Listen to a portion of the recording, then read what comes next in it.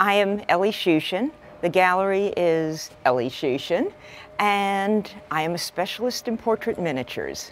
That is an enamel by Henry Bone, a founder member of the Royal Academy. It is of Jane, Duchess of Gordon, who was one of the dangerous ladies of Regency England. My favorite quote about her is from Lady Mary Coke in 1787. The Duchess will stop at nothing to gain her ends. Such a woman is always dangerous. She has fabulous stories, which is what I love about portrait miniatures.